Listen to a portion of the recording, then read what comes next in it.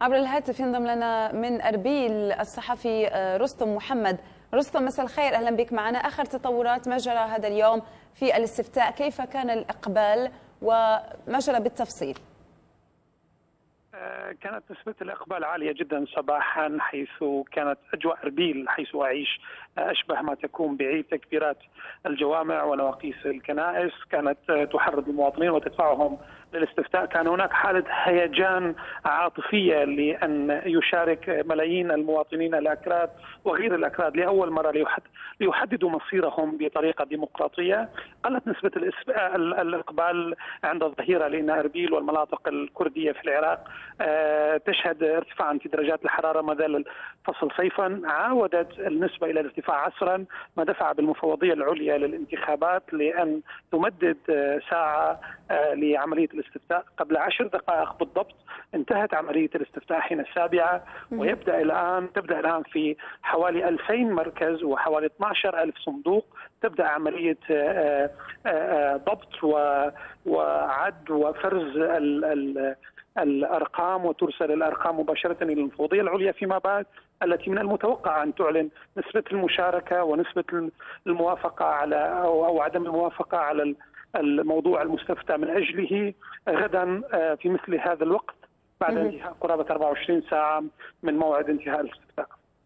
طيب ما بعد ذلك هل لديك معلومات عن الإجراءات المتبعة بعد أن يتم إعلان نسب المشاركة ونسب الموافقين ونسب الرافضين؟ ما الإجراءات التي ستتخذ بعد ذلك؟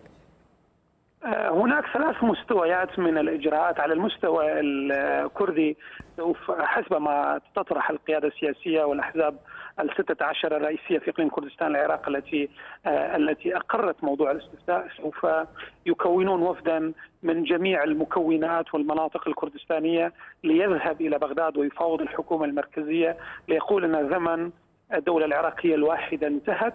تعالوا لنتفاوض على الملفات العالقة بيننا التي تتعلق بالمياه وبالنفط وبالعلاقة الدولية وبالحدود وبالديون وأن, وأن نقرر كل شيء.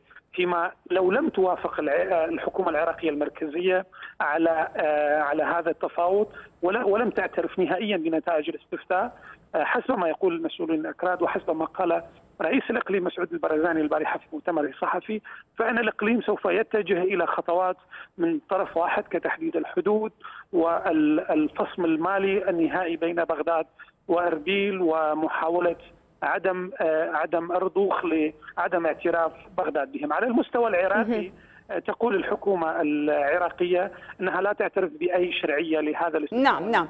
نتائجه ايا كانت لن تكون وبالتالي فإنه لا يترتب عليها أي شيء وسوف تعتبر الحكومة إقليم كردستان حكومة غير طيب. شرعية وتطالب نعم. ببعض الأمور السيادية الممنوحة لها. طيب ماذا بالنسبة للاكراد يعني من ذهبوا اليوم إلى مراكز الاقتراع من صوتوا يعني من خلال حديثك مع بعضهم هل هناك آراء مختلفة وكيف يعني كانت ربما ردود الأفعال أو حتى أنه رغبتهم هل مع أم ضد؟ عموما عموما كان هناك نشوة قومية ونشوة ذاتية بأنهم استطاعوا في النهاية أن أن أن يتصدوا ويتحدوا كل شيء ويذهبوا ليحددوا مصيرهم بأنفسهم، هناك بعض الاستثناءات أكيد وهناك نسبة مشاركة وتفاعل أقل من قبل التركمان والعرب الذين يحملون جنسية وسكن هذه المناطق، لكن الأكراد هناك نشوة عامة ببعض الاستثناءات والناس عموما عموما تنتابها النشوة وتحس أن جميع الضغوط التي تمارس على الإقليم تشبه ما مورس عليها عام 2005 حين اقرت الفيدرالية وكانت مرفوضة من تيارات واسعة من, نعم من الأحزاب نعم سيد رستم. شكرا لك على هذه المداخلة الصحفي رستم محمد كنت معنا عبر الهاتف من أربيل.